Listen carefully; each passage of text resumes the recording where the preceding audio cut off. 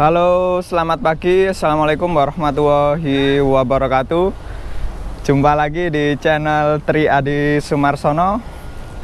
Ya, di kesempatan pada pagi hari ini saya akan mereview satu unit mobil pickup L300 Mitsubishi dengan tahun 2015. Ini modifikasinya sangat simple dan stylish sekali ya. Oke, tanpa banyak kata, kita review mulai dari bagian depan. Ini dia unitnya nampak dari depan. Untuk bagian kaca masih tetap standar. Ini dilapisi dengan kaca film ya. Kaca film warna hitam atas dan bawah. Dan untuk di bagian atas ini ada tambahan untuk penaruh terpal ya. Rak penaruh terpal atau barang ini terbuat dari pipa stainless ini dengan total harga 2.500 dan ini sudah termasuk bagian perisai kolong samping kanan dan di sebelah kiri ya. Dan ini ada tambahan untuk stiker Poison Pink.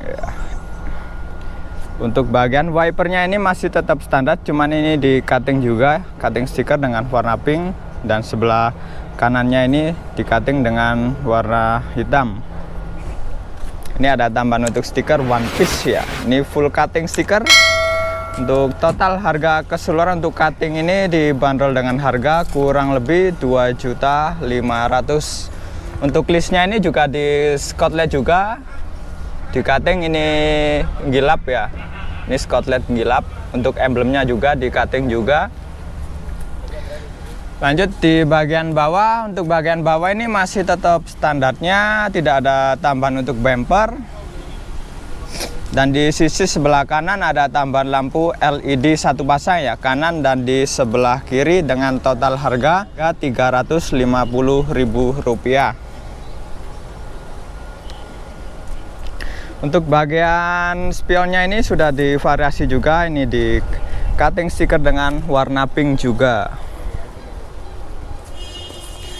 Dan di bagian bawah ini dikasih variasi pipa stainless memanjang ya. Ini memutar untuk pipa pagar ya, pipa pagar stainless. Dengan total harga kurang lebih 2.500 itu sudah termasuk pengaman samping kanan dan di sebelah kiri. Ini nampak dari sisi sebelah kiri. Ini untuk velgnya ini sudah menggunakan velg racing juga dengan total biaya 7 juta rupiah ini ban plus velgnya ya. Untuk bannya sendiri ini menggunakan ban merek Bridgestone dengan ukuran 185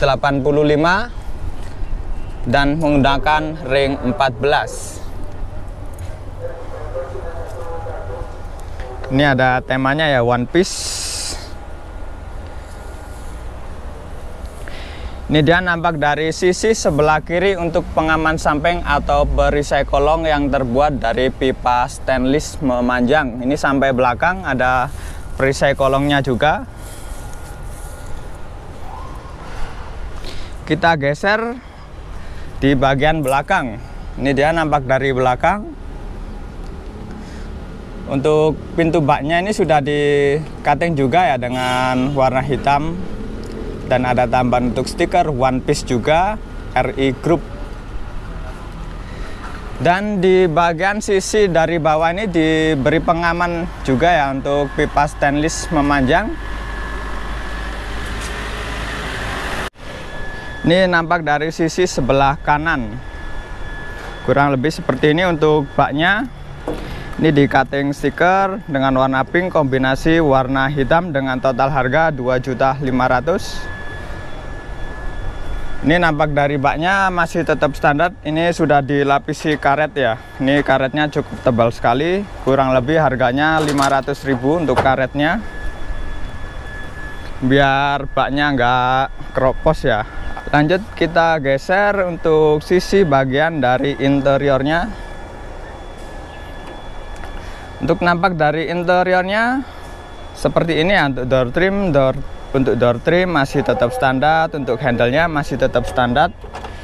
Cuman ini dikasih tambahan variasi untuk cutting stiker dengan warna pink.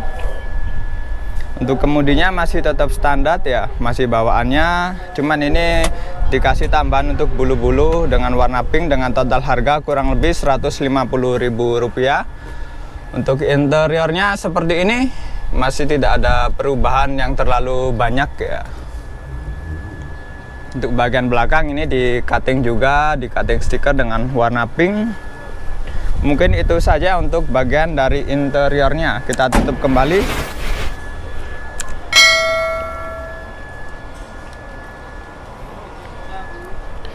Demikian review singkat yang bisa saya jelaskan dan saya sampaikan di kesempatan pada pagi hari ini. Bila ada salah-salah kata dalam penjelasan atau review, mohon maaf yang sebesar-besarnya. Saya Tri Adi Semarsono undur diri, jumpa lagi di pertemuan selanjutnya. Wassalamualaikum warahmatullahi wabarakatuh. Bye bye, see you next time.